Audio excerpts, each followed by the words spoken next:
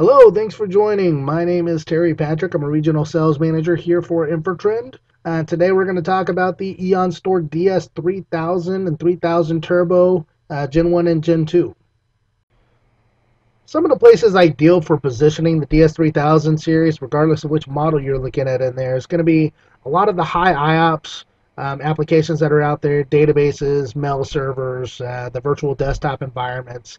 Uh, very bandwidth intensive uh, type applications such as media editing, surveillance job. Uh, those are a really good fit for our platform. So you can see on the specifications, there's a lot of different form factors here. So 24 bays, 12 bays, 16, 48, 60 bay units, a lot of different uh, units that are available. Performance wise, all the way up to 1.3 million uh, IOPS. Uh, you can see the reads and writes of that performance. A lot of this is because of the options we have for that throughput. So uh, the multi-host interface, whether you're looking at 1 gig iSCSI, 10 gig E, 8 gig, 16 gig fiber, 6 gig or 12 gig SAS direct attached storage, we have solutions for all of them. And then depending on which models you go with, all of those models are going to have either uh, two or four 1 gig iSCSI ports per controller on there as well to be able to use. We try to build up as much redundancy as possible, so redundant power supplies, fans, controllers, uh, if you choose that option. Um, scalability, I mean, all the way up to 360 hard drives on this. So if you're doing the math on 360 hard drives with six terabyte hard drives, and uh, you know we're we're talking about petabytes of storage. It's it's phenomenal for us to offer that. Um, data services, and so SSD caching, automated storage tiering, remote replication, local replication, um, uh, SED drives, thin provisioning, all those different pieces. And from a cache memory standpoint, we can do up to 16 gigs per controller. And the drive compatibility, you can see. I mean, it's the full spectrum, whether it's SATA all the way to SSD. IT Pro UK gave us a five star review based on one of our hybrid products. And really, the reason why they loved it so much was the, the overall effectiveness um, for cost, for performance, uh, and for overall scalability. So our DS3024B actually ranked number one in IOPS per dollar ratio, so 24 cents per IOP in the SPC1 um, testing we just recently did. And SPC1 is a Storage Performance Council. Um, it's a third-party organization that's uh, very non-biased when it comes to testing and seeing exactly what uh, these arrays are doing um, for us and all of our competitors. But really, I mean, we are delivering upwards to 218,000 IOPS on it at the lowest cost, and just the overall sustainability sustainability and stable performance and response times were phenomenal for us.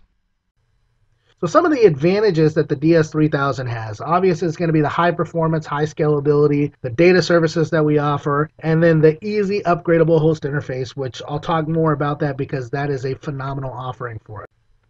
So you can see on the performance from the IOP side, using the Gen 2 3000 Turbo, uh, you can actually do up to 1.3 million IOPS on there. So great performance from us. Even our DS3000 will still do 1 million. Uh, if we're taking a look at the reads and writes, whether you're looking at the the 3000 Turbo Gen 2 or the DS3000, um, obviously 5,500 megabytes per second uh, on the reads, and then 2,200 on the writes.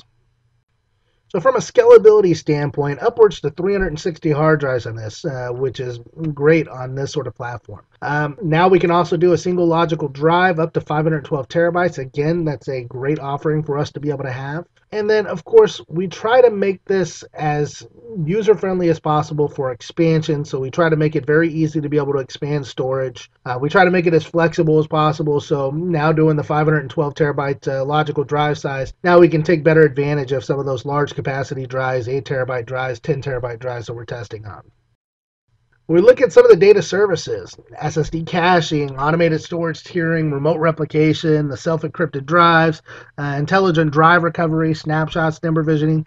These are all offerings that we have on this platform. Um, the SSD caching is obviously going to help accelerate that performance for that random I/O. Automated storage tiering is going to give you uh, four different tiers that you can work with uh, to be able to tier out your storage, and then based on an algorithm uh, that's monitoring the, the, the data that's out there, it's going to go ahead and place that uh, data on the proper disks. Um, remote replication is pretty self-explanatory at this point. We can go point to point. Um, SED drives, so self-encrypted drives, as long as you're using qualified drives for us, we can absolutely take advantage of this. Um, intelligent drive recovery. So th- this kind of helps um, monitor the system, what's going on. So we're doing repairs in real time versus uh, you know trying to wait for a drive to actually fail. Um, snapshots, mm, point in time copy, as you all know. Thin provisioning is uh, you know the overallocation of resources that allows you to set up your unit for the future with only buying what you need now.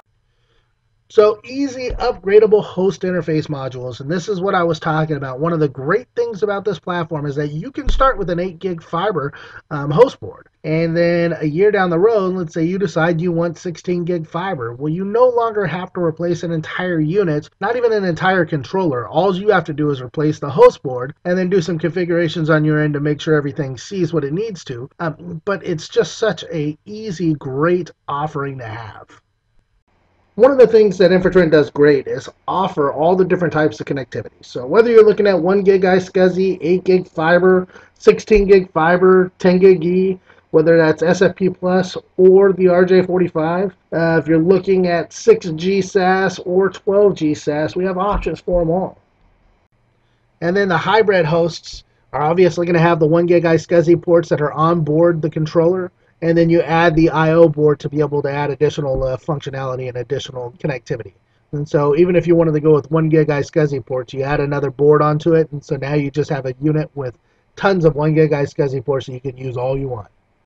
So on the DS3000 Turbo Gen 2 model, now it's really getting into the SSD market, and by that I mean we have the all SSD storage array that's going to help provide upwards to 350,000 IOPS for random read applications, as well as the SSD caching, which is really going to accelerate performance for the random read intensive applications. And then we have the automated storage tiering, which is going to help optimize the utilization of hard drives. With that, I mean that we can now take multiple tiers of storage, so a tier of SSD, a tier of nearline SAS, a tier of SATA, a tier of fast SAS, whatever the case is, and build up those multiple tiers so that way you're fully utilizing everything that's on there.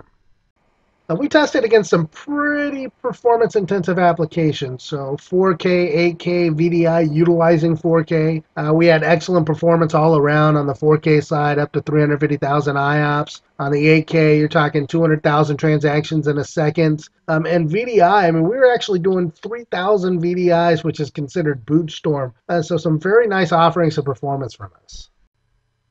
So SSD caching, one of the big things about that is to be able to help with the read performance of certain applications. And, and really, a lot of them are going to be random I/O applications like SQL Server, uh, Mail servers, CRM, database servers, um, SAP, VDI implementations. And those are all big things that are utilizing random I/O. Um, another thing that we added to this is large SSD cache pooling. What that means is that now we can actually build a pool up to 3.2 terabytes. Uh, that's 1.6 terabytes per controller of an actual cache pool. Another thing we do is we also monitor wear level on this to help us uh, monitor the remaining life of these uh, of these drives inside of the sets. So very nice for us to have. So with automated storage tiering, you really get to start to see your return on investment because now you're taking advantage of everything that's inside of that box and not just going with one type of drives. Um, so with that, now you can actually build up the four levels of tiering. So you can do your SSD drives, maybe some high performance SAS drives, some large capacity nearline SAS, and then some slow spinning SATA in the background to really tier everything out that you need to to make sure you're getting your, your, your cost per terabyte down. I really want to thank everybody for taking the time to listen to this. Um, if you have any questions, please contact your local sales reps and we'll be glad to help in any which way we possibly can. Thank you and have a great day.